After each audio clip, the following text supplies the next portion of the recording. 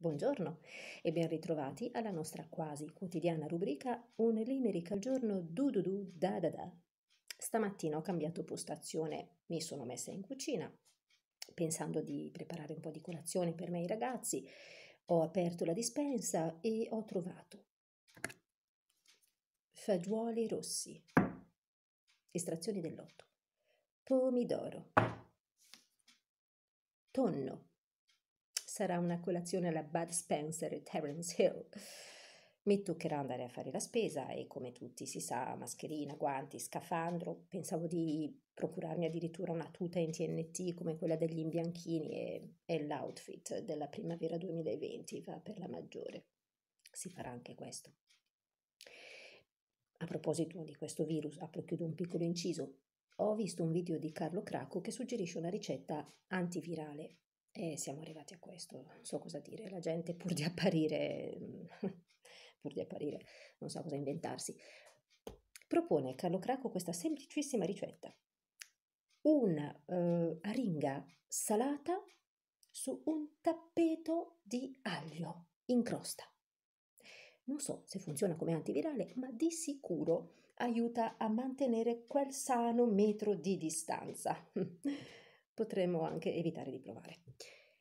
Eh, non so se vi ricordate la pubblicità dei Ferrero Rocher che andava per la maggiore, una delle prime, di questa signora elegantissima, blasonata, seduta sul sedile posteriore di una limousine che rivolgendosi al proprio autista dice Ambrogio, ho un certo languorino, non è proprio fame. E Ambrogio, scioccia signora, vuole un pane al culatello?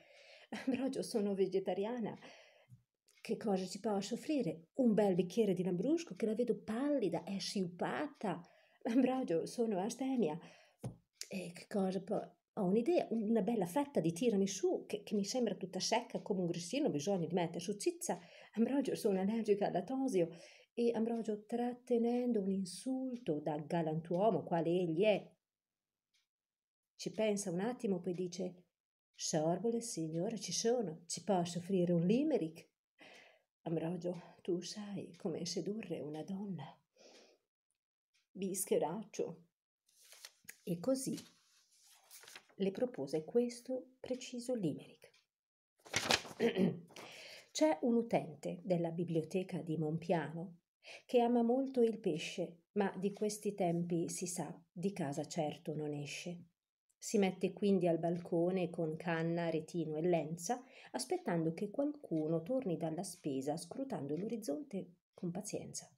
Non appena scorge un branzino, un polpo delle cozze sbucare da una sporta, lancia la canna all'azzo con mira accorta.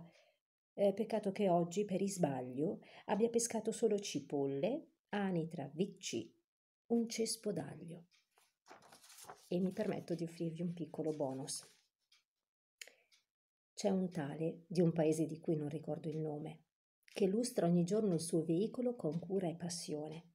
Impomata i sedili, mette il rimmel agli specchietti, poi si mette alla guida del bolide luccicante e ben lustrato.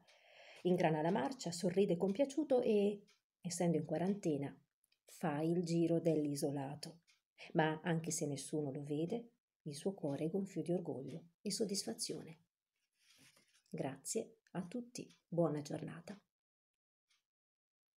A presto.